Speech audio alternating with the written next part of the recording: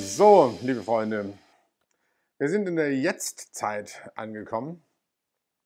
Wir sind auf dem Level heute mit meinem heutigen Video, wo sich ein großer Teil der Weltbevölkerung befindet, zumindest der Westen, Europa, USA, Australien und so weiter und so fort. Alles das, was unsere westliche Wertewelt ausmacht, ist von Orange tief durchdrungen. Die wichtigsten Meme, die wichtigsten Level, die wir in Spiral Dynamics aktuell im Westen haben, sind eben noch blau. Das gibt uns die ganze Struktur, das gibt uns Gesetze, Grenzen und so weiter und so fort. Orange als das Macherlevel, das Level, das uns unsere Wirtschaft und unseren Erfolg in der Welt sichert und bestimmt. Und grün das pluralistische Mem, das im Prinzip unser Zusammenleben neu definiert in Sachen Gleichberechtigung, in Sachen Vielfalt und so weiter und so fort. Heute jedenfalls Orange. Orange ist wie alle Meme, und ich habe es schon gesagt, auch immer von zwei Seiten zu betrachten. Ein guter Freund von mir hat heute gesagt, es ist im Prinzip, das ist das Feuer, das uns gleichzeitig wärmt und verbrennt. Zur gleichen Zeit. Wir hätten den Standard, den wir heute im Westen haben, nicht, wenn es das orange Mem nicht gäbe.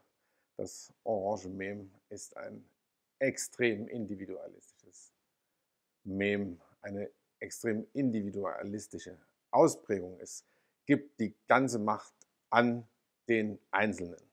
Und so benimmt es sich auch. Es ist im Prinzip die Ausprägung des Egoismus, wie man ihn sich nur so vorstellen kann. Und hat all das geschaffen, weswegen wir uns jetzt hier so sehen.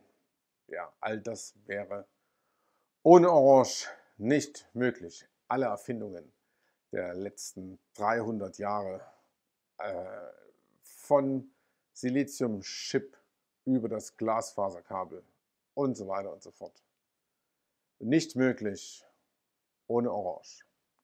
Aber wie immer, falls das für dich hier das erste Video in meiner Spiral Dynamics Folge sein sollte, ein kurzer Überblick über Spiral Dynamics. Was ist es denn? Spiral Dynamics wurde in den 70er Jahren von Claire W. Graves entdeckt.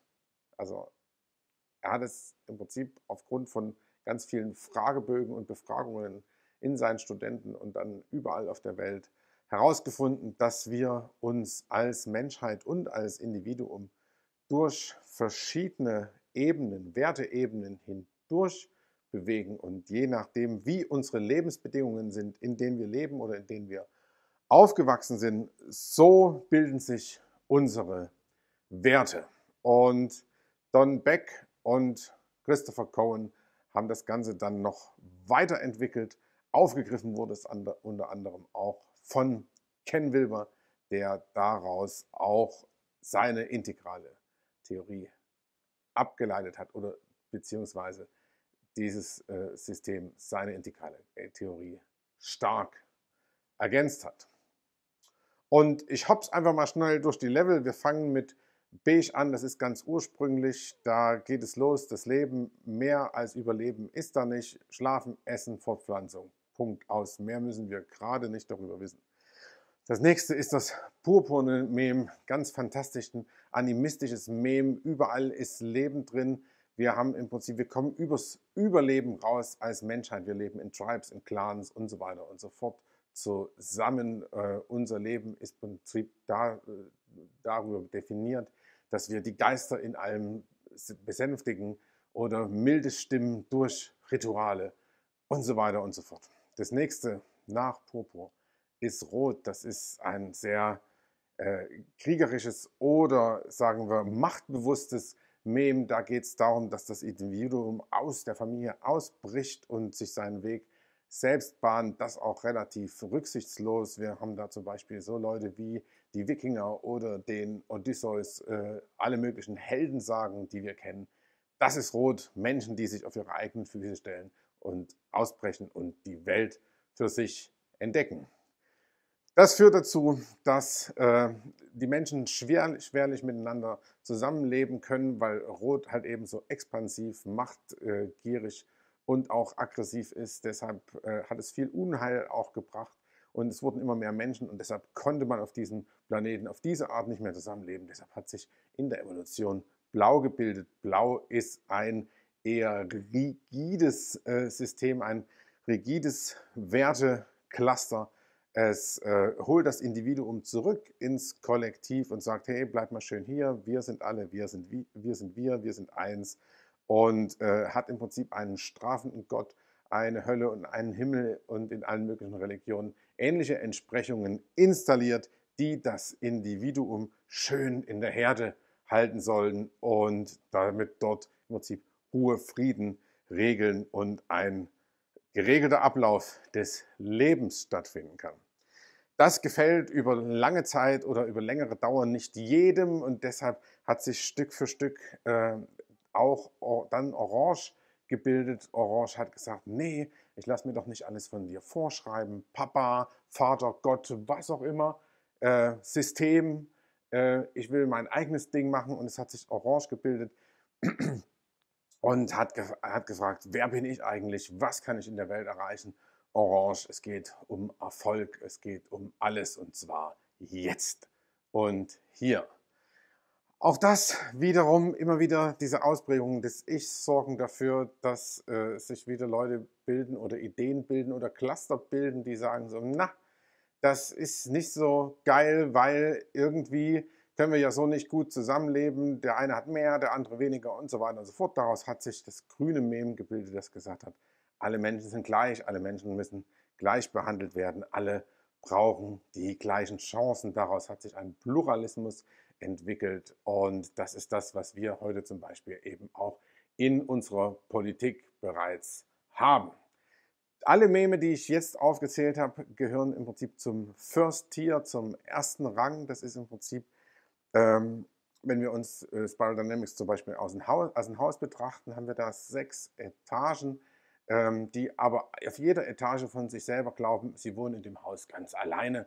Und ihr Wertesystem, ihre Sicht auf die Welt ist die einzige, die es gibt, weswegen es halt auch zwischen den ganzen Etagen dann Gerangel gibt, weil die einen nicht verstehen, warum die anderen so reagieren, weil man ja auf Blau zum Beispiel eben sich an die Regeln halt, hält und Rot denkt, nee, wir machen laut Party. Ja? So, also wir haben im Prinzip diese sechs Etagen und äh, die wissen nichts voneinander, zumindest wissen die nicht, dass die unterschiedlich ticken. Und äh, die drängen alle Stück für Stück in der Spirale hoch. Und das ist das, was wir jetzt gerade an dieser verrückten Welt, wie wir sie da draußen erleben, sehen können. Wir befinden uns im Prinzip in der Zeit kurz vor einem Sprung. Das ist der Sprung ins Second Tier, in den zweiten Rang, wo wir eine integrale, eine ganzheitlichere Sicht einnehmen können. Und äh, da es los bei Gelb. Gelb. Gelb fängt an, eben die ganze Welt integral zu betrachten. Was heißt das? Sie kann im Prinzip erkennen, dass die sechs Schubladen, die sechs Stockwerke, in denen wir vorher gelebt haben, alle parallel zueinander existieren und existieren können und kann dann im Prinzip in diese Schubladen reingehen, in diese Stockwerke reingehen, die Treppe benutzen und kann mit den ganzen unterschiedlichen Werteclustern sprechen, beziehungsweise sie verstehen und wissen, was sie, was sie wollen und kann eben die Achievements, die, die, die Werkzeuge aus diesen Ebenen benutzen und daraus im Prinzip eine neue Welt gestalten. Das ist die Idee. Da befinden wir uns gerade hin zum Sprung.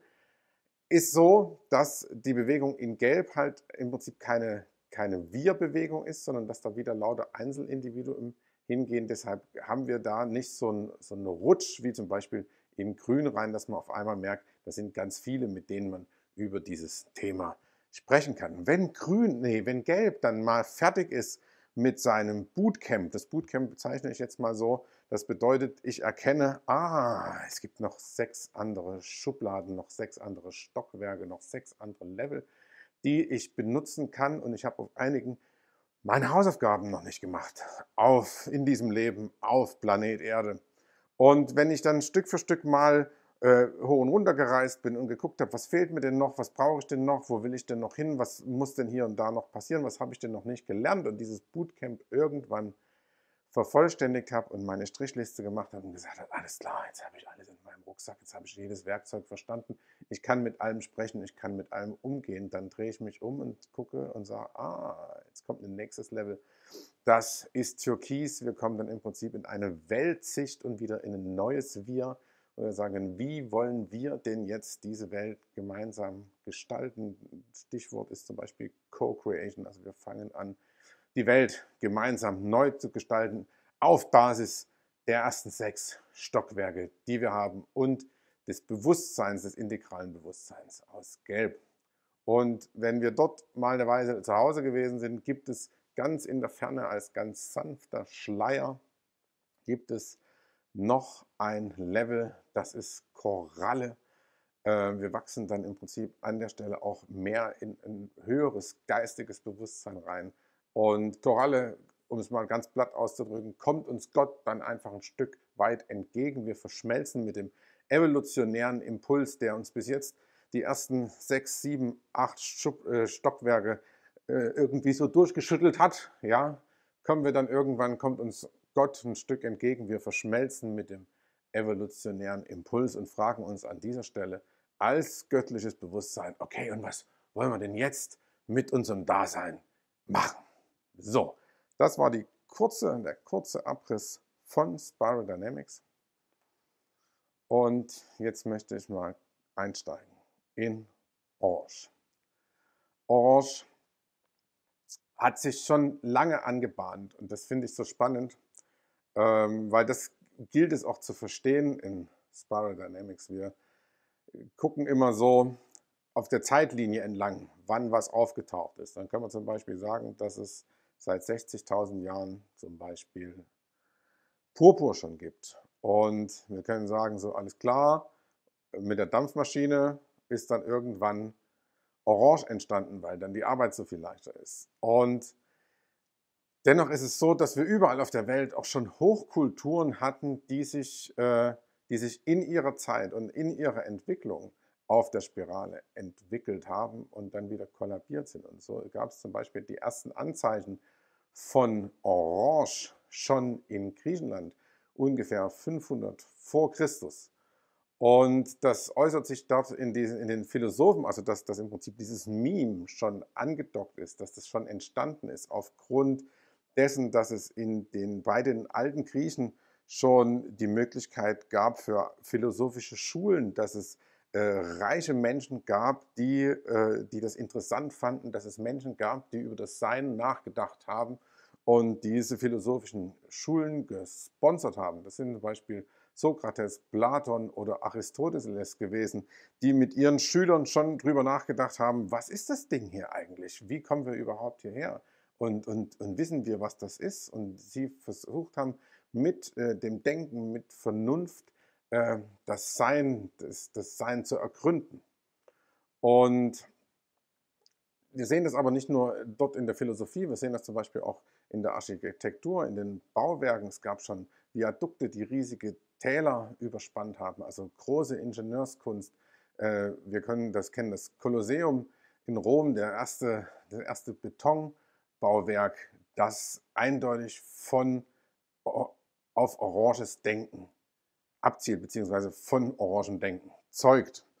Und jetzt ist aber das äh, große griechische Reich oder die alten Griechen, das ist dann irgendwann wieder kollabiert. Das Reich äh, hat an Bedeutung verloren und ist zerfallen und am Ende ist von den, von den Griechen im Prinzip das Land Griechenland übrig geblieben und alles das, was äh, die, der, große, der große Geist zurückgelassen hat, ist erstmal ein Zurückfallen äh, von orangem Geist auf blau und dann auf rot und äh, im Prinzip ein kompletter Rückfall. Also das heißt, Orange hat sich dann wieder unter die Grasnarbe zurückgezogen und äh, ward erstmal lange Zeit nicht mehr gesehen und kam dann ungefähr vor 500 Jahren mit Martin Luther und der Aufklärung und dem Buchdruck wieder aus der Versenkung. Martin Luther hatte damals die, die Bibel übersetzt. Seine Idee war, und das ist eine orange Idee, äh, warum sollen denn nur die Pfaffen wissen, was in der Bibel steht? Äh, wir können doch viel besser Gottes Wort vernehmen und hören, was er uns zu sagen hat, wenn wir diese Bibel selber lesen können. Und er hat sie dann übersetzen lassen, hat 500 äh, Thesen an die Kirche zu Wittenberg geschlagen und hat gesagt, was er an der Kirche Kacke findet. Äh, unter anderem den Ablasshandel äh, finden wir zum Beispiel heute wieder in, äh, beim Kohlendioxid. Ähm, wurde gestern zum Beispiel von der äh, Frau Merkel vorgeschlagen, dass in Zukunft ähm, wir das mit dem Kohlendioxid über Geld regeln können. Ist im Prinzip eine alte Geschichte. Damals hat der Luther das schon angeprangert und es gibt so einen Spruch, der heißt, der, der Heller im Klingelbeutel klingt, die Seele aus dem Fegefeuer springt. Und das war eine Sache, die, die hat den Luther sehr stark gestört. Er ist dann auch äh, verfolgt worden, ist, für ihn ist es alles gut ausgegangen. Er hat dann lange in Ex, im Exil gelebt, gelebt in Eisenach, wurde vom Teufel verführt und hat dann seine, sein Tintenfass äh, nach dem Teufel geworfen. Kann man sich in Eisenach angucken. Anyway, die Aufklärung, die ging damals los. Der Buchdruck, die Lutherbibel, das erste Buch fürs Volk. Ähm, so hat im Prinzip Orange bei uns hier in Mitteleuropa seinen Lauf genommen. Dann kamen im Prinzip solche Sachen wie äh, vor, vor 300 Jahren die Dampfmaschine und äh, die ganze Renaissance äh, rollte dann über Europa und äh, auch die Industrialisierung ging nach Amerika und so weiter und so fort. Und so hat Orange seinen Lauf genommen. Die Wissenschaft ist eine typisch orange Erfindung. Äh, Erfindung kann man nicht sagen, weil es gab halt, ging halt einfach mit der, mit der Aufklärung los, dass Menschen gesagt haben, so, äh, was, was ist das Ding? Was ist in den Dingen? Und es gibt so, eine, so ein ganz spannendes, äh, ganz spannenden Roman, der heißt Der Medikus, ist auch ganz entzückend verfilmt worden, äh, in dem äh, im Mittelalter ein Bader, das waren die Leute, die früher Frisur, äh, Frisur und Zähne ziehen, gleichzeitig gemacht haben, ekelhafte Tinkturen und so weiter angerührt. Und damals gab es im Prinzip das Tabu äh, von der Kirche, weil alles, was war, war von Gott gegeben und von Gott gemacht. Und wenn halt jemand sterben sollte, dann war das, weil das Gott so wollte. Und äh, dieser Bader im Mittelalter, der hat jedenfalls gesagt, dessen Mutter ist an, äh, an der Seitenkrankheit gestorben, das, was wir heute Blinddarmentzündung nennen würden und ist über die Welt gereist und hat, und hat dann angefangen bei einem äh, Chirurgen irgendwo in der Wüste zu lernen, wie, dass man im Prinzip Augen reparieren kann, aber das Auge ist ein äußerliches Organ und er hat aber gesagt, wir müssen doch auch rein können. Und das ist ein Tabu, das kann man nicht machen und er hat es dann irgendwann doch gemacht und hat herausgefunden, wie man den Blinddarm heilen kann, wie man den Blinddarm im Prinzip finden und rausschneiden und dann Menschen wieder zunähen kann. Also es gibt ein Inneres im Menschen und es ist nicht nur Gott überlassen. Und diese Suche danach, rauszufinden, wie die Dinge funktionieren, warum die Dinge so funktionieren, wie sie funktionieren, das ist typisch Orange. Und das gibt es einfach in Orange in ganz, ganz vielen Ebenen. Ja? Äh, Marie Curie ist so ein Beispiel, die wissen wollte, wie kann man denn in den Menschen reingucken, die, die, die mit der Röntgenstrahlung angefangen hat zu arbeiten. Ähm, Daimler, der angefangen hat, den Verbrennungsmotor zu entwickeln und den dann auf eine alte Kutsche draufgeschraubt hat und dann mit, einer, mit einem Riemenantrieb äh, die, mit diesem Ding durch das damalige Baden-Württemberg äh, gefahren ist. Alles Pioniere, die auch teilweise unter Lebensgefahr diese Dinge herausgefunden haben. Also erstens weiß man ja nie, was ich, mir, was ich hier erfinde, fliegt mir das um die Ohren. Das andere ist, dass man äh, immer wieder des Ketzertums äh, an, angeschuldigt werden konnte. Was immer du erfunden hast, es gab immer irgendwelche Leute, die haben, äh, die haben geschrien und haben gesagt, so, haha, das gibt es ja nie. Und das ist ja das Lustige an der Wissenschaft. Und das muss man auch mit, der, mit, der, mit dem heutigen Blick auf die Wissenschaft sehen. Also die Wissenschaft und das orange Mem an sich glaubt immer, wenn es eine, bestimmte Stelle, eine bestimmte Sache herausgefunden hat, wenn es einen bestimmten Blick eingenommen hat, mit dem es sehen kann, was auf einer bestimmten Ebene passiert, so glaubt es, dass es damit in den Stein der Weisen gefunden hat und äh, im Besitz von, von, von aller Weisheit ist. Und wenn wir uns aber im Prinzip die Wissenschaft angucken, wie sie vor 200 Jahren war, ähm, dann haben die Menschen noch ganz andere Dinge geglaubt oder konnten noch ganz andere Dinge lösen und bestimmte Dinge nicht lösen. Und deshalb ist es heute so, so witzig, wenn wir sagen, ähm, die Wissenschaft kann das lösen oder vertraue der Wissenschaft.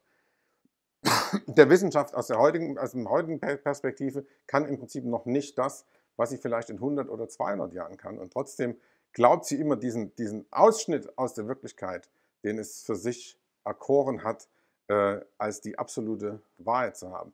Das ist auch ganz typisch für Orange. Also Orange ist extrem strategisch und ähm, dringt in die Dinge ein und ist aber immer nur auf dem Weg dara da, darauf erpicht, das zu beweisen oder das rauszufinden, was es äh, sich vorgenommen hat zu finden. Und dadurch entstehen im Prinzip einfach auch ganz, ganz enge Korridore in der Wirklichkeit. Und das bringt auch mit sich, dass Orange angefangen hat, die Welt zu entmystifizieren. Ich hatte es schon gesagt, in Purpur, dass einst die ganze Welt voller Zauber und Magie und aufgeladen war. Und Orange kommt jetzt und nimmt das alles weg und sagt nichts. Es besteht einfach alles nur aus Teilen und Atomen und äh, Molekülen und Zellen und wir können es aufschneiden und wir können reingucken und wir haben überall schon reingeguckt und wir haben keinen Gott gefunden. Orange hat im Prinzip Freude daran, blau zu beweisen, dass es diesen alten, einengenden Gott, der die Welt erschaffen hat und der als einziger bestimmen kann, was hier passiert, was gemacht werden darf, oder was nicht, es ihn einfach nicht gibt. Orange ist extrem an persönlichem Erfolg interessiert. Und wir haben das nicht nur in der Wissenschaft, wo bei jeder Veröffentlichung drum gestritten wird, an welchem Platz äh, der steht, der das Ding geschrieben hat oder dem das Institut gehört, an dem es geschrieben wurde oder die Doktoranden, die daran mitgewirkt haben. Es gibt überall auch wieder eine Hackordnung und jeder möchte, möchte überall dabei sein. Und in der Wirtschaft ist es meines Erachtens genauso krass. Orange liebt im Prinzip die Insignien des Erfolgs.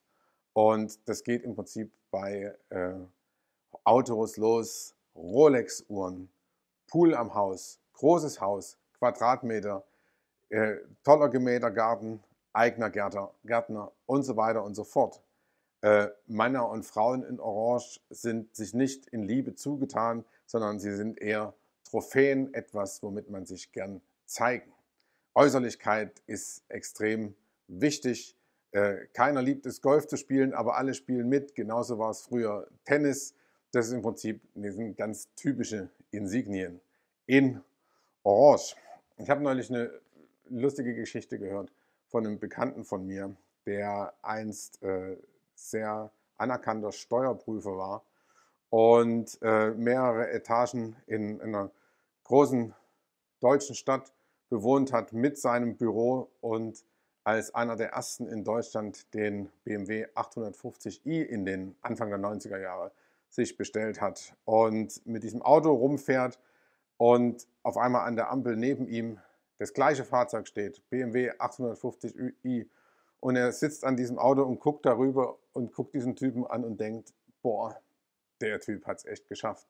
Nicht, realisieren, dass er selber an dem gleichen, an dem gleichen Punkt ist, an dem gleichen Punkt von Aggregation von Materie. Und für ihn war das so einer der Wendepunkte, wo er gesagt hat, so, ich habe all diese äußerlichen Dinge erreicht und innerlich fühle ich überhaupt nicht dort angekommen zu sein, wo ich hin will. Äh, dieses, die, die, Verbindung von meinem Inneren zu diesem äh, Sportwagen, der heiß begehrt, nur an wenige Menschen ausgeliefert wird, ist überhaupt nicht da. Was, was ist das überhaupt für ein Leben? Ist das überhaupt mein Leben?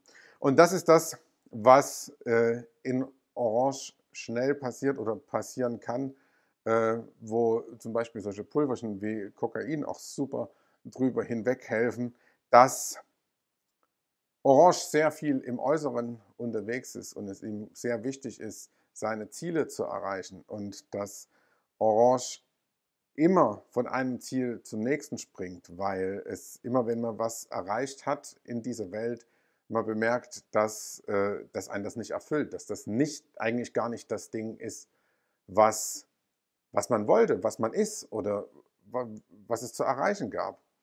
Aber dadurch, dass Orange selbst äh, dem Leben jeglichen, äh, jeglichen Zauber entrissen hat, äh, jegliche Bedeutung außerhalb von dem selbst auferstellten, äh, auf, aufgestellten Erfolg entrissen hat, gibt es im Prinzip nichts anderes als die die Ziele, die man sich gesteckt hat. Und das Erreichen von Zielen. Also wenn äh, die Fusion zwischen zwei Unternehmen stattgefunden hat, dann äh, muss das Ganze, was weiß ich, zu einer Aktiengesellschaft werden. Oder es muss noch mit anderen Unternehmen fusionieren. Oder es muss eine neue Zielgruppe erschlossen werden. Oder äh, es müssen neue Produkte auf den Markt gebracht werden. Aber Orange hastet von Ziel zu Ziel und äh, die Ziele müssen immer größer werden, weil es sonst keine Herausforderung mehr ist, weil Orange liebt Competition, liebt im Prinzip den Wettbewerb und äh, nur im Wettbewerb kann sich Orange spüren. Und Orange ist im Prinzip asozial im Sinne von alle Menschen, die auf einer anderen Stufe stehen als Orange und äh, am Wegesrand liegen bleiben, hat Orange einfach nur das Gefühl, okay, die haben sich einfach nicht genug angestrengt. Ja die, die wollten nicht mitkommen oder die waren zu faul, weil auch ich habe mich ja von unten hochgearbeitet und das kann ja jeder. Und das ist zum Beispiel auch äh, die, die Grundlage des äh, American Dream. Ja, jeder kann es schaffen. Just do it. Ähm, und dabei ist sich aber auch einfach nur jeder selbst der Nächste. Und Orange hat äh, überhaupt keine Möglichkeiten, wirklich Beziehungen einzugehen, zumindest in der Hochphase von Orange. Ähm, sie werden im Prinzip Menschen genauso wie Werkzeuge benutzt, weil, weil Emotionen und echte Bindungen ähm, eigentlich nur davon abhalten, mein Ziel zu erreichen. Das heißt, es gibt Buddies auf einem bestimmten, äh, auf einem bestimmten Lebensweg, zu einer bestimmten Zeit gibt es Buddies, äh, mit, der, äh, mit denen wird, wird eine Form von, von Nähe zelebriert, aber wenn die nicht mehr gebraucht werden oder wenn die für ein bestimmtes Ziel nicht mehr geeignet sind, dann kann Orange die auch einfach, einfach loslassen, einfach fallen lassen und äh, alleine seinen Weg gehen. Also Orange und Individuen in Orange gehen ihren Weg alleine. Und auch wenn irgendwann die Krise von Orange aufkommt und äh, Orange ganz langsam in Grün reinwächst und merkt, okay, es, äh, es bedarf wohl anderer Menschen, so finden im Prinzip die, die Annäherungen noch ganz zart statt. Also Orange bewegt sich, wenn es gereift ist und wenn es die ersten Krisen hat, bewegt sich ganz, ganz langsam auch in den grünen Bereich hinein und ist dann auch bindungsfähig. Spannend an dieser Stelle ist auch die ganze Self-Help, Selbsthilfe-Industrie. Tony Robbins ist so ein Beispiel und auch ein Beispiel dafür, ähm, Tony Robbins, für die, die ihn nicht kennen, das ist so ein amerikanischer Selbsthilfe-Trainer, Guru, nennt er sich selber nicht. Und äh, der hat im Prinzip in den 90er Jahren, Anfang der 90er Jahre, ganz viele tolle Bücher auf Basis von NLP geschrieben. NLP ist übrigens eine wahnsinnig orange Technik des Reframing äh, des Daseins, des, Re des Reframings deiner Auffassung von der Wirklichkeit. Das ist im Prinzip äh, mega orange. Und äh, Tony Robbins war einer der ersten, der wirklich dicke Wälzer dazu geschrieben hat und äh, wo es Stück für Stück äh, darum geht, äh, für sich eine neue Wirklichkeit zu schaffen, um äh, im Außen das wiedergespiegelt zu kriegen, was man selber ist und ist aber auch über die 30 Jahre dahin gewachsen, dass er Männer mit Menschen arbeitet, auch ganz an die Glaubenssätze rangeht, die ein keine Beziehungen haben kann. Also es ist ein Stück, Stück für Stück wächst Orange, wenn es lange genug in dieser, in dieser reinen Selbstoptimierungswelt äh, unterwegs ist, wächst es Stück für Stück auch in Grün und fängt an, dort auch die zurückgehaltenen Emotionen freizulegen und dort ein ganzes Stück immer menschlicher zu werden. Orange und seine Art zu leben hat uns natürlich auch das eingebrockt, was wir im Prinzip auch als die, als die Krise der westlichen Welt sehen können und äh, auch unsere ökologische Krise, weil Orange beutet sich selber gnadenlos bis zum Umfallen aus. Es gibt in Japan, ich kenne das japanische Wort jetzt leider nicht, gibt es äh, den Tod durch Arbeit. Also es gibt, äh, das habe ich sonst noch nirgends geholt, aber, äh, gehört, aber in Japan, in Tokio gibt es Menschen, die fallen beim Arbeiten einfach um. Das ist der Tod durch Überarbeiten. Das ist dort ein ganz äh, bekanntes Phänomen. Also Orange lebt auch von der Selbstausbeutung. Es geht die ganze Zeit um Selbstoptimierung. Äh, Orange hat natürlich sich den Wecker gestellt, hat den ganzen Tag durchgetaktet, und äh, lässt im Prinzip von diesem durchgetakteten auch nicht ab. Die Mutter dieses Takts oder der Vater dieses Takts ist, ist blau im Prinzip, dass ich Regeln befolgen muss und so weiter und so fort. Und Orange hat das für sich noch äh, so weit optimiert, dass es sagt, alles klar, ich gebe mir ein Kommando und äh, das Kommando muss ich selbst exakt befolgen. Und äh, Orange tendiert dann aber auch dazu, sich so voll, das, das Leben und den Tag so voller Kommandos zu machen, dass es im Prinzip eigentlich nur noch im Stechstritt von einem Ziel, von einem Mikroziel zum nächsten springt, was irgendwann auch zur Erschöpfung führt. Und es spiegelt sich natürlich im Außen wieder, wie Orange mit sich selbst umgeht. Also, wenn ich mich selber ausbeute, beute ich auch andere aus. Und äh, das ist im Prinzip das, was Orange geschaffen hat, eine Welt, die wir wahnsinnig schnell hochgezogen haben. Äh, wir können uns das äh, überall angucken, äh, von New York bis über Amazon Logistikzentren. Das heißt, Orange ist schon sehr lange unterwegs und wir sehen das überall, dass es überhaupt keine Skrupel gibt, die Welt im Prinzip komplett umzukrempeln und sie komplett an das Bild von, das das, Orange von der Welt hat, anzupassen. Und da ist äh, natürlich ist Getreide, ähm, das mittelgroße Körner hat, ist natürlich nicht optimiert genug. Und so äh, ist die Agrarindustrie, das Orange in der Agrarindustrie immer bemüht, äh, kurze Halme, große Körner, dichtere, dichterer Stand des Getreides herzustellen. Und äh, die Wurzeln werden immer kürzer, der Boden wird immer harter, er wird immer ausgelaugter. Aber da Orange eben den vorhin schon beschriebenen nur diesen Ausschnitt hat, sagt es, ja, ist doch kein Problem. Dann schütten wir halt äh, Dünger drauf und wir schütten Fungizide und Pestizide drauf und wir schütten Glyphosat drauf und äh, wenn der Boden dann ausgelaugt ist, dann äh, bauen wir halt nächstes Jahr was anderes darauf an und reichern den Boden wiederum an. Also wir, wir befinden uns halt in einem Daueroptimierungsloop und so wie der Mensch in Orange irgendwann ausbrennt, brennt alles irgendwann aus. Und ich hatte es zum Anfang schon gesagt, ähm, Orange ist das Feuer, an dem wir uns wärmen, während es uns äh, verbrennt. Und, und das ist das, was halt irgendwann wirklich zu der Krise und zu dem Entstehen von Orange, äh, von Grün geführt hat, die gesagt haben, so okay, so, so kann es irgendwie nicht weitergehen. Wir müssen das Ganze äh, irgendwie wieder zusammenführen, wodurch dann sowas wie äh, die Partei Die Grünen entstanden ist oder äh, ökologische Landwirtschaft oder Ideen wie Tiefenökologie ähm, bis hin zu, zu Gardening-Ideen im großen Stil, dass wir im Prinzip orange die Erde an irgendeinem Punkt auch wieder entreißen können und müssen.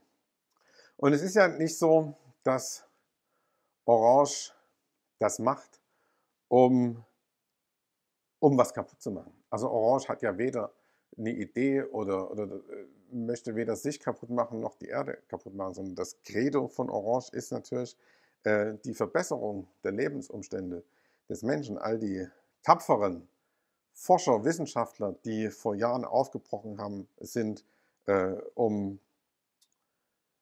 um Dinge herauszufinden. Deren Idee war ja zum Beispiel Krankheiten zu vermeiden. Der Idee, die Idee war, äh, nicht auf Arbeit laufen zu müssen. Die Idee war, äh, die Menschen satt zu kriegen. Äh, viel Brot, äh, breites äh, Gesundheitsangebot, äh, Transportmittel für alle und so weiter und so fort. Also Orange war immer bemüht, dem Menschen in diesem System ein gutes, süßes Leben angedeihen zu lassen. Und was ist aber erwartet von den Menschen in dem System? Dass sich jeder genauso reinhängt. Und jeder darf sich genauso reinhängen und jeder darf sein Stück vom Kuchen haben. Und äh, Orange ist auch der Meinung, dass das immer so weitergehen kann. Ähm, Grün sagt, ewiges Wachstum ist eine Illusion.